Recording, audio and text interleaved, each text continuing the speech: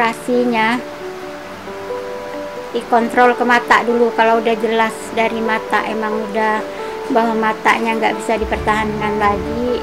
Mau nggak mau saya harus terima itunya diangkat juga matanya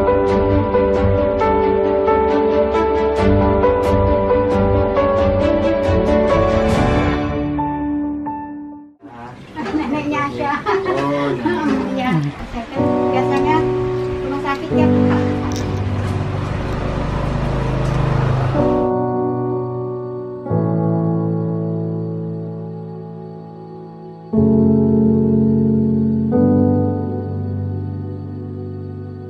Assalamualaikum warahmatullahi wabarakatuh. Saya adalah nenek dari Asalina Putri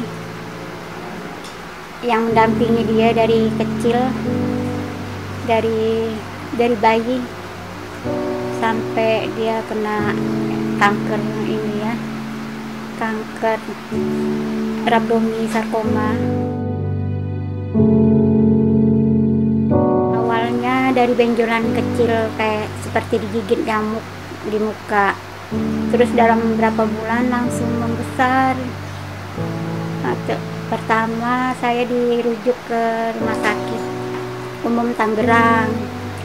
Habis dibiopsi dioper ke rumah sakit Cipto. Setelah di Cipto di apa, jalanin kemo jalanin kemo dari yang besar menutup mukanya tadi kan air ngempes sampai sampai sekarang saya lagi itu kontrolnya rumah sakit Cipto masih itu kemo jalan. Ada rencana mau dioperasi kan ini. Mungkin bulan Oktober lah. Oktober.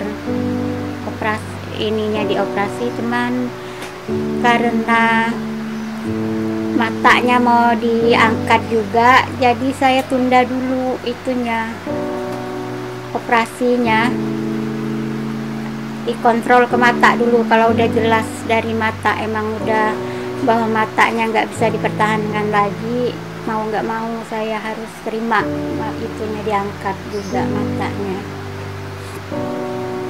Untuk sekarang dia masih menjalanin kemo.